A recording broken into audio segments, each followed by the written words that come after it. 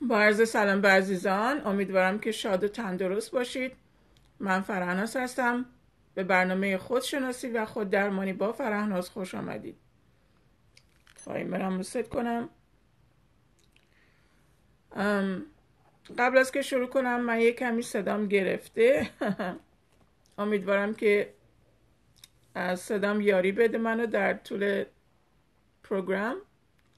اگر احتمالا لازم شد ممکنه برنامه رو کوتاه کنم.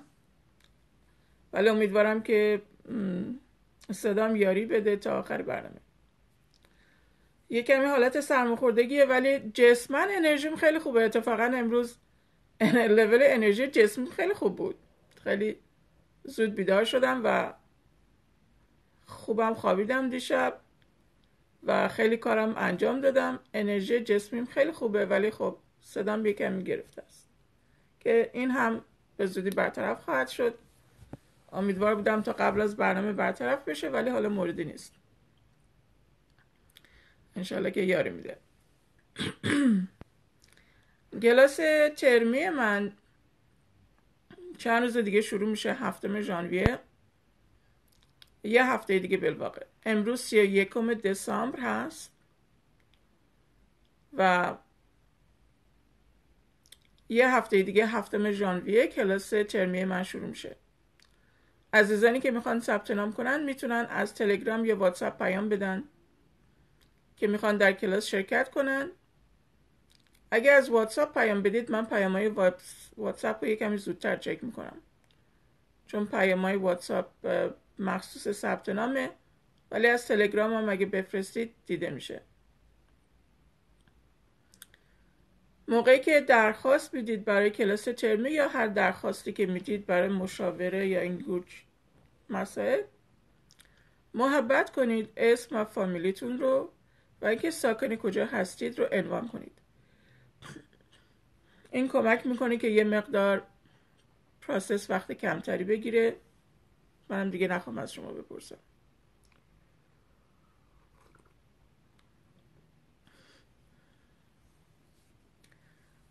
امشب برای کالیفرنیا دوازده شب سال نو میشه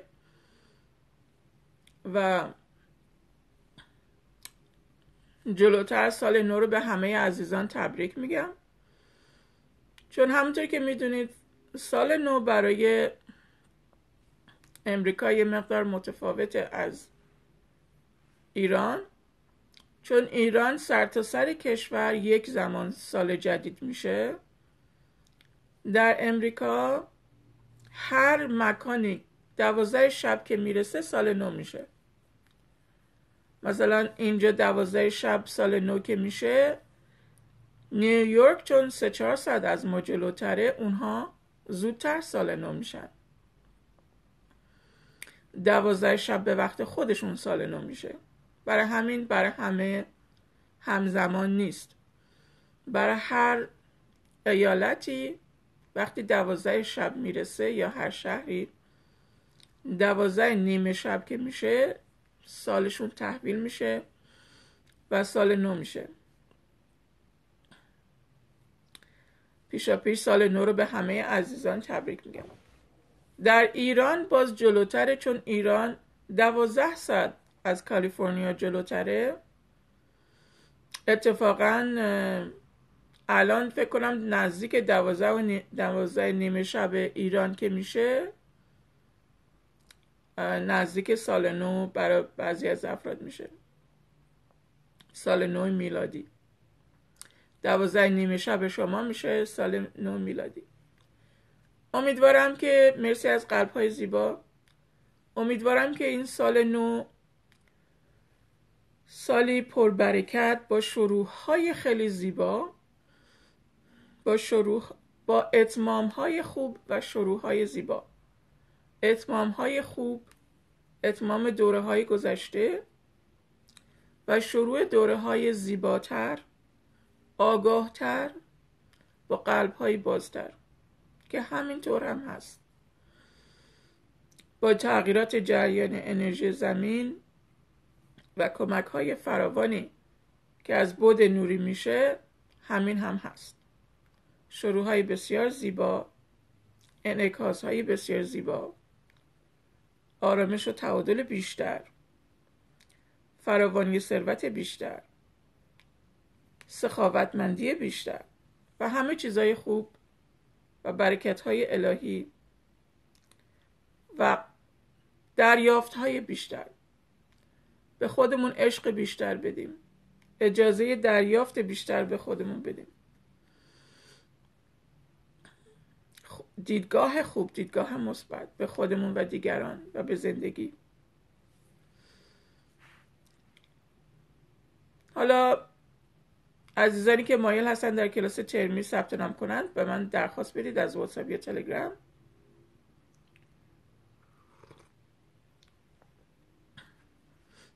من چای داغ در کنارم گذاشتم که به گلوم کمک کنه.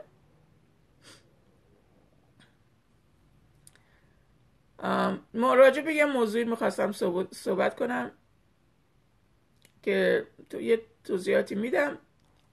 بعد میریم سراغ تمرینات و اگرم وقت شد و صدام یاری کرد سال جواب میدم. یادآوری که عزیزانی که سوال دارن می‌تونن در جلسه رایگان جواب به سوال شرکت کنن. لازمش اینه که اینترنت و اسکایپ داشته باشید. اسکایپ رو می‌تونید به راحتی روی موبایل روی تبلت روی لپتاپ کامپیوتر دانلود کنید.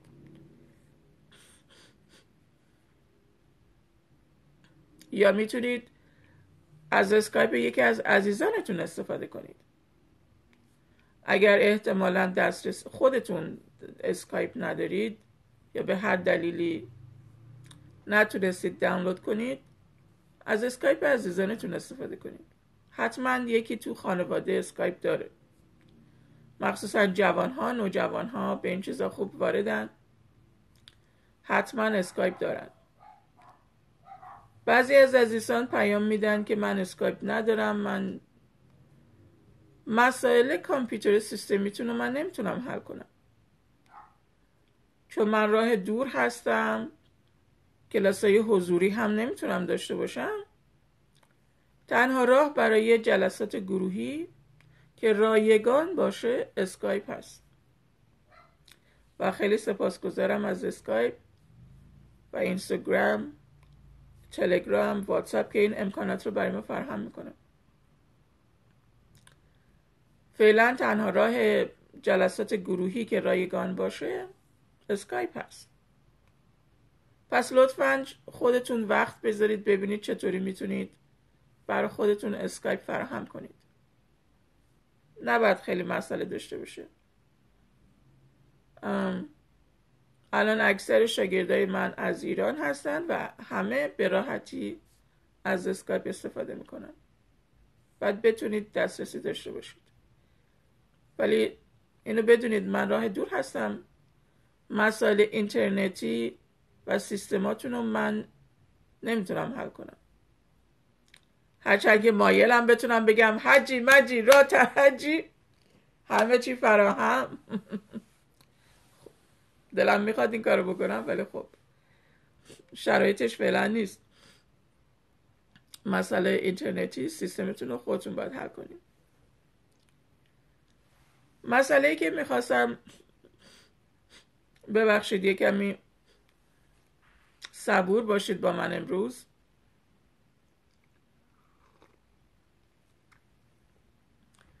چون می‌خواستم برنامه رو داشته باشم نمی‌خواستم برنامه رو لغو کنم.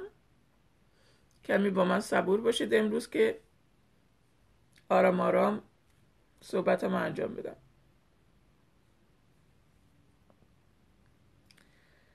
صحبتی مسئله که می‌خواستم امروز راجبه صحبت کنم حس خواستن تایید از دیگرانه.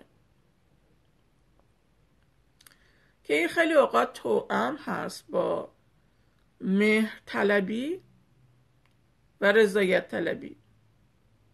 ولی در این قسمت می‌خوام بیشتر توجه بذارم روی تایید خواستن از دیگران. این خیلی پیش میاد در رابطه بین فرزندان و والدین که از والدین تایید می‌خوان. ولی در روابط دیگه هم هست. حتی گاهی اوقات والدین از فرزندان تایید می‌خواد یا یک شخص از همسرش تایید بخواد.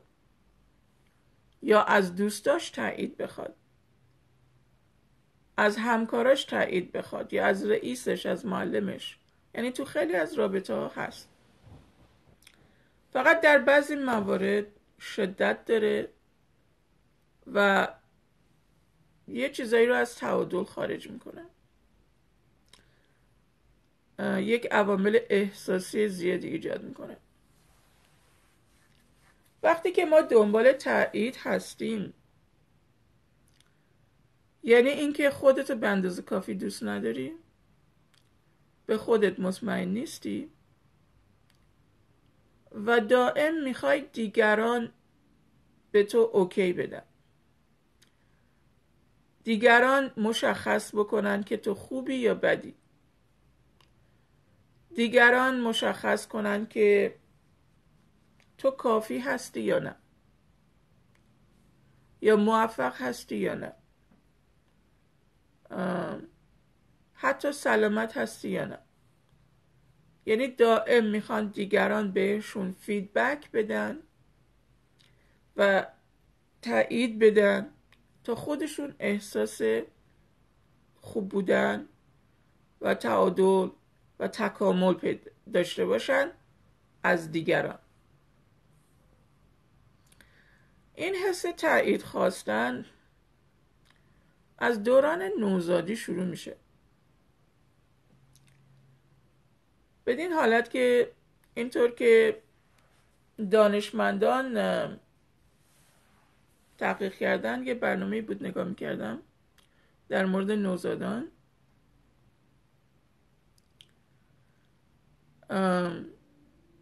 نوزاد در دوران نوزادی دائم با مادر در شروع بیشتر با مادر.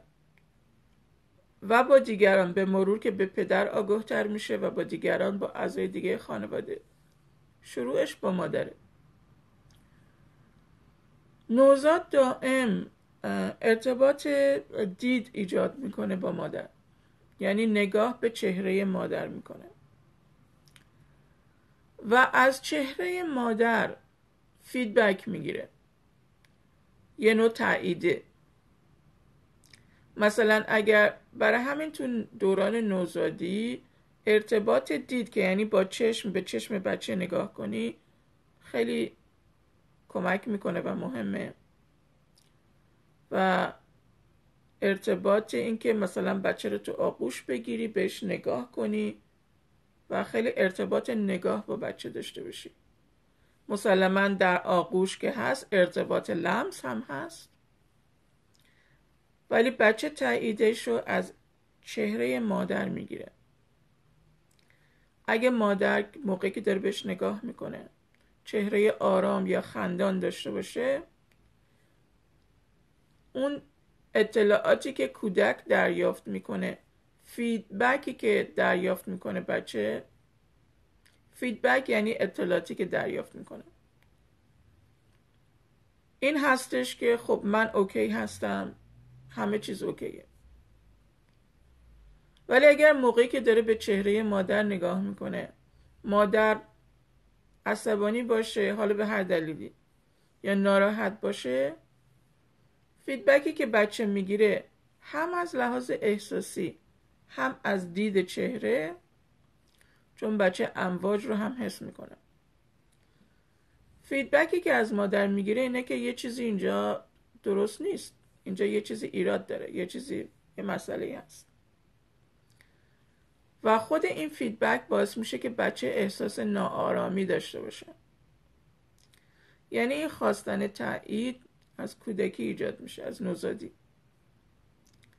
منتها در دوران کودکی این طبیعت نوزاده.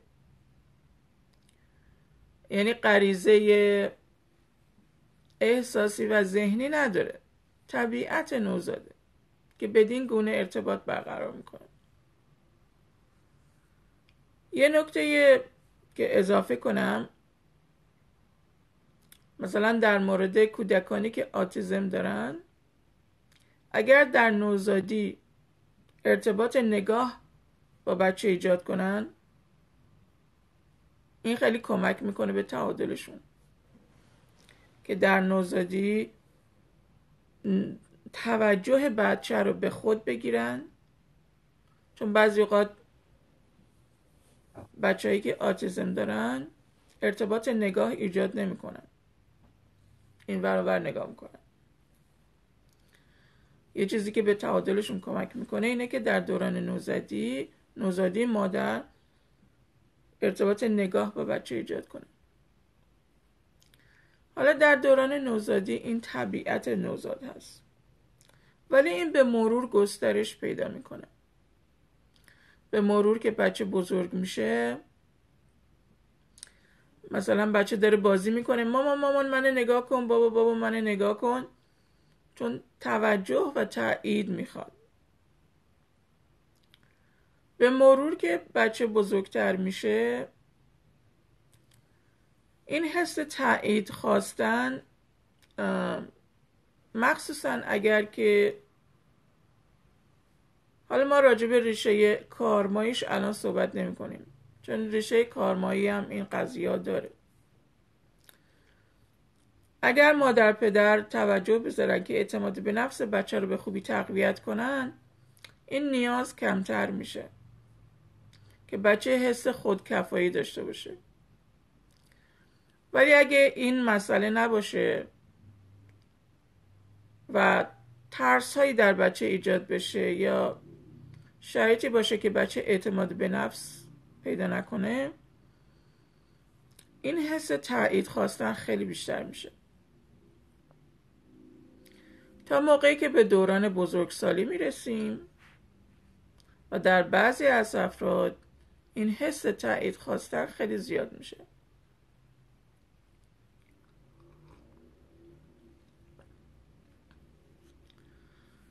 که دائم از محیط تایید می‌خواد از والدین از دوست از همکار از رئیس حتی از خودش دائم تایید می‌خواد.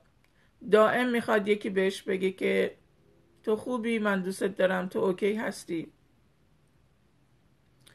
یه مسئله ای که این تایید خواستن زیاد که ریشه در بزرگسالی ریشه میشه عدم اعتماد به نفس عدم عشق به خود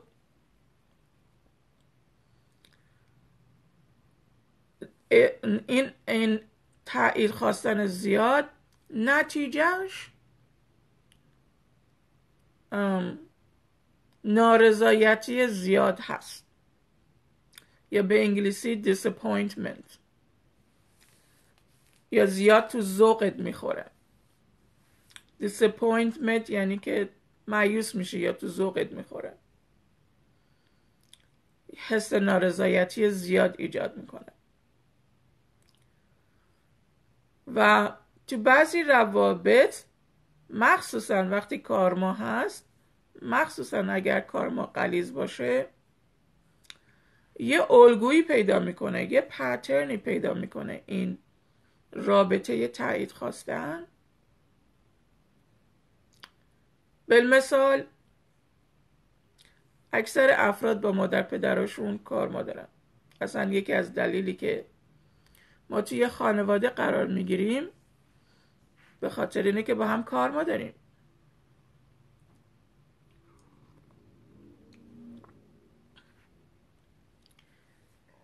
و کار فرض کنید یه مادر و یه فرزند.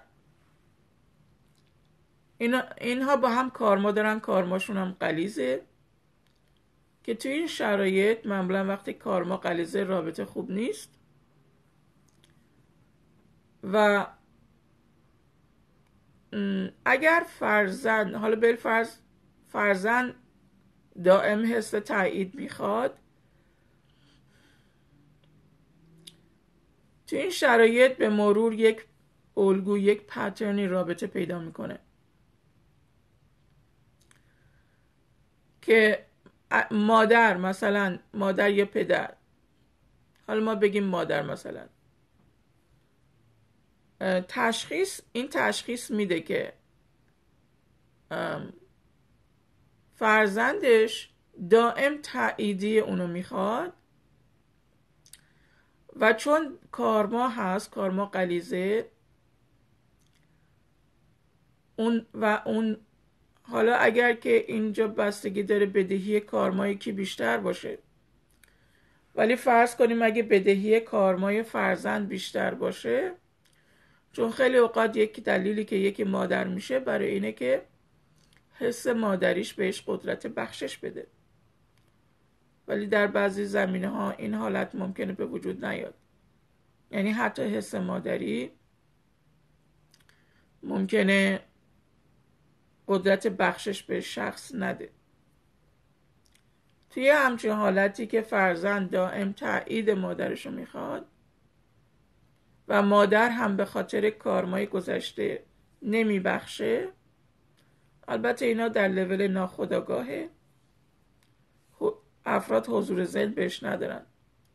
در لول روحی و ناخداگاهه این رابطه بین فرزندی که دائم تایید می‌خواد و مادری که نمیبخشه به خاطر کارما پترنی که پیدا می‌کنه اینه که تو هر شرایطی و خود این ارتباط انرژی این پترن رو تقویت میده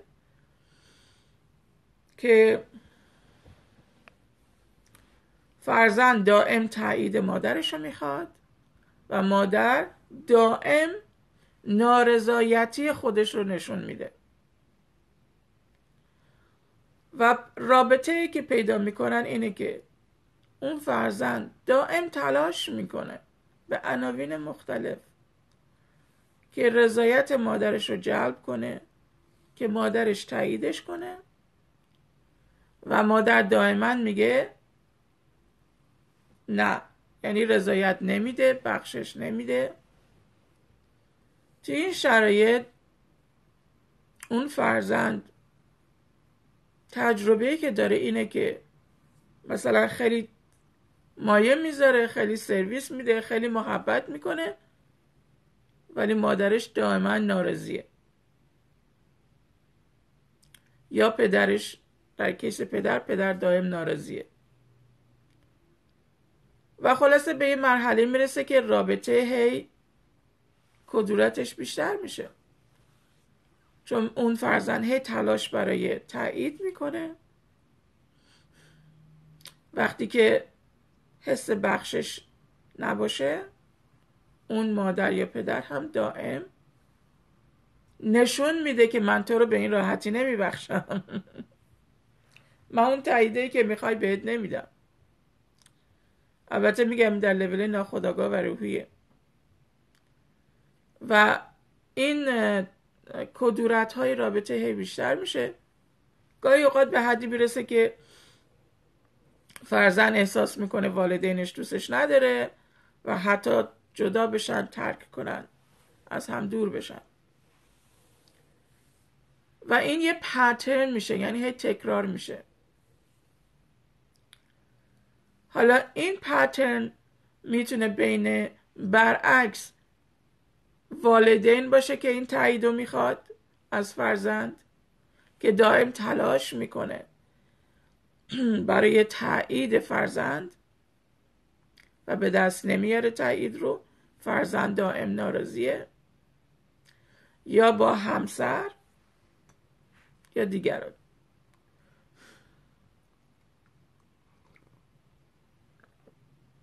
ولی یه پترن ناسالم میشه که هر دو طرف ناراضی حتی اون کسی هم که تایید نمیده ناراضیه. چون دیدگاهش اینه که محبت هایی که میدی رو نمی‌بینه. دیدگاهش اینه که تو منو دوستم نداری. اون کسی هم که تایید می‌خواد دیدگاهش اینه که تو منو دوستم نداری. نکته جالب اینجاست. هر دو طرف دیدگاه دارن که تو منو دوستم نداری. همون کسی که دیدگاه تایید می‌خواد. همون کسی که تایید نمیده. هر دو کمبود دارن کمبود نفس کمبود عشق به خود. و هر دو دیدگاه دارن که تو منو دوستم نداری. حالا راه حل چیه؟ اولین مرحله راه حل برای در اومدن از این دایره ناسالم خلاص شدن از این الگوها و پترن های تکراری اول حل کردن کارما. کارما که حل شد که تو این زمین ها معمولا زمان میبنه چون تو این حالت ها معمولا کارما سبک نیست. مخصوصا اگر برای سالیان زیاد این رابطه بدین گونه هست. اول حل کارما. کارما که حل بشه یه مقدار آمادگی بخشش بیشتر میشه. و بعد از حل کارما بخشش. در خیلی موارد فاصله خیلی کمک می‌کنه. چون معمولا اگر با هم تو یک فضا باشن هی تماس و توقع هست. ولی خیلی اوقات اگر از هم مسافتا جدا بشن مثلا با هم زندگی نکنن یه فاصله مسافتی باشه چون یه مقدار توقع و ارتباط کمتر میشه کمک می‌کنه فضا ایجاد می‌کنه رابطه یه کمی آرامتر بشه. و یه فضایی برای بخشش ایجاد بشه.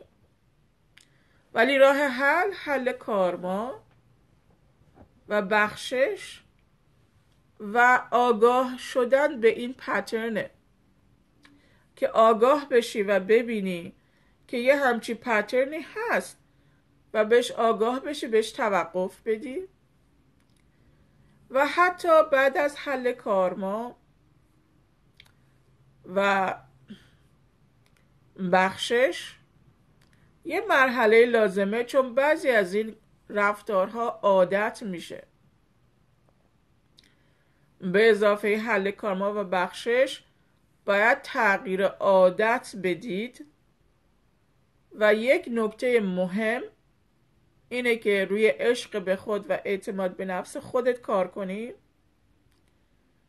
و این خواسته تایید رو رها کنی. این خواسته ای که خواستن تایید دیگران رو رها کنی برات مهم نباشه دیگران راجع به تو چی فکر می‌کنن. تو در هر حالتی خودت رو دوست داشته باشی از خودت راضی باشی و اعتماد به خود داشته باشی. این کشش و این خواستن تایید دیگران رو رها کنید. اگر این خواسته رو رها کنید بسیار آزاد میشید از خیلی کشمکش های احساسی. چون تو این رابطه کسی که دائم تایید می‌خواد همیشه ناراحته. به عناوین مختلف ناراحته و نارضایتی دیگران باعث نارضایتی از خودش هم میشه.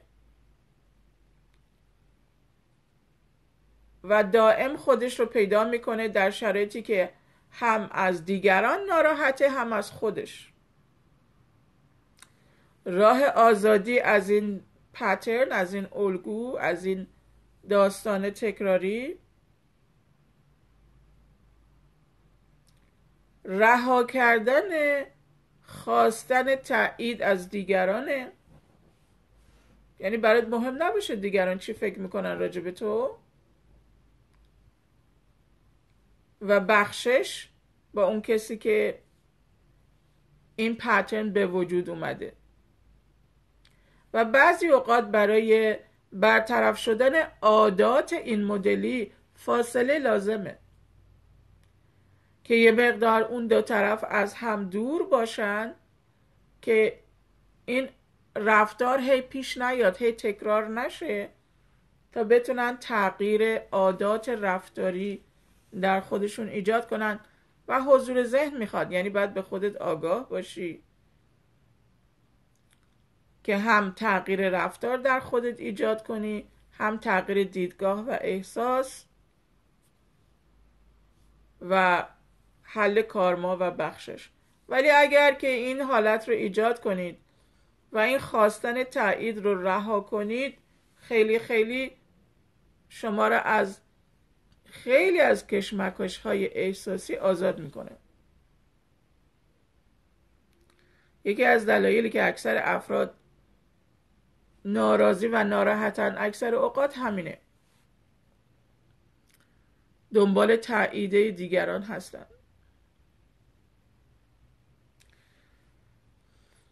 خب این از این موضوع.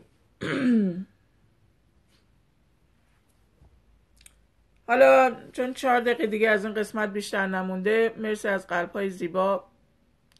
من برمیگردم و در قسمت بعدی بکنم شاید یه تمرین رنگین کمان انجام بدیم و یه دوتا درمان. لطفا حضور داشته باشید من برمیگردم.